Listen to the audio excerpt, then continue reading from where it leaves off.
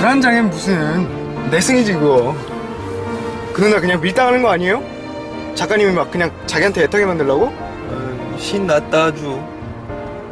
근데 싫다 그러는 여자 쫓아다니지 말고 딴 여자 만나지 그냥 그 정도가 아닌 게 문제지 임마. 진짜 매력 있거든. 뭐랄까. 내 영혼을 막 구할 것 같은 그런 느낌 우리 한지처럼 예. 현진랑은 어때? 별로요 글 쓰는데 집중하려고 에라 이 자식아 못났다 진짜. 요즘도 집 앞에서 얼굴만 봐? 걘 근데 진짜 갈수록 예쁜 것 같아 내가 진짜 병원 안 갈 거야? 나 아직도 손가락이 이상한 거 같은데. 괜찮아요 진짜 아픈 말씀 드릴게요